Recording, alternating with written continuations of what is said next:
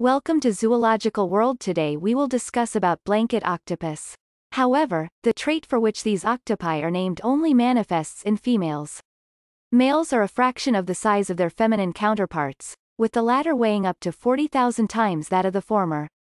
That makes the blanket octopus the most dramatically sexually dimorphic animal on the planet, but it's not this cephalopod's only interesting quality. Though sightings of rainbow blanket octopi are often rare, the facts we do know about the four species known as the rainbow octopus reveal a versatile and highly intelligent sea creature capable of surviving in a range of different environments. Incredible blanket octopus facts. Little men. Males don't possess the trademark rainbow blanket this octopus is known for, but they're also barely the size of a walnut.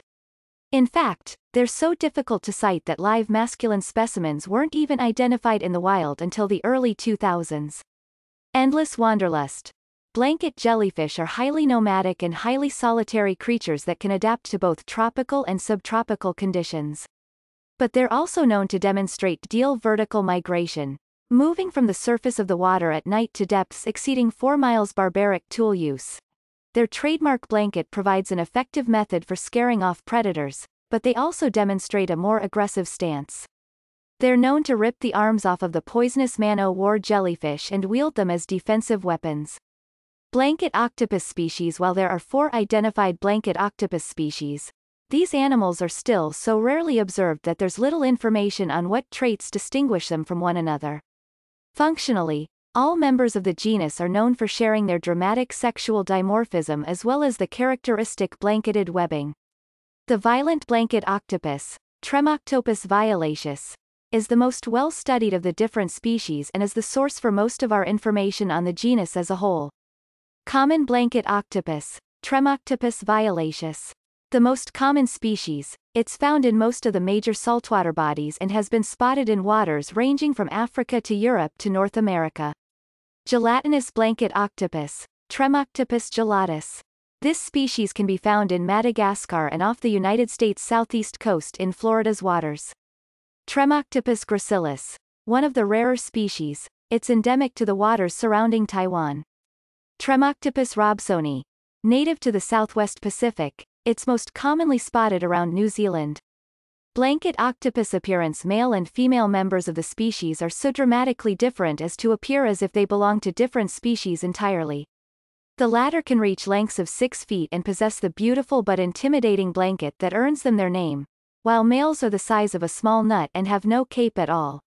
Apart from that sexual dimorphism and the dramatic membrane of flesh, they aren't physiologically that different from other octopus species. They can appear in a wide range of different colors, and they can even change their patterning and coloration to better blend in with their environment like many other octopus species. Blanket octopus distribution, population, and habitat The blanket octopus is rarely seen in the wild, but its distribution seems to be prolific. These cephalopods have been found in the Australian Great Barrier Reef, in the Gulf of Mexico, and in both the Mediterranean Sea and the Indian Ocean. Part of this has to do with their nomadic and solitary behavior, but their ability to adapt to both tropical and subtropical water conditions also helps with that. These octopi exhibit a behavior known as diel vertical migration. They'll spend their evenings at or near the surface of the water, but they can descend as deep as 4 miles deeper as it grows lighter above. Blanket octopus reproduction and lifespan Since they mostly occupy open waters, the life cycle of the blanket octopus hasn't been observed as much as many other species.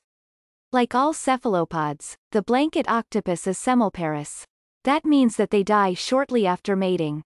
Males typically live for a year or two, while females will live to the age of two or three. Dwarf males use all of their energy trying to find a mate. The third right arm of the male serves as a sexual organ, and they actually detach it from their body and leave it inside the female during mating. They'll die shortly thereafter. The process is at least as exhausting for female blanket octopi. They can carry up to 100,000 eggs until the point that they're ready to hatch. After laying her eggs, a mother octopus will simply stop feeding and quickly die.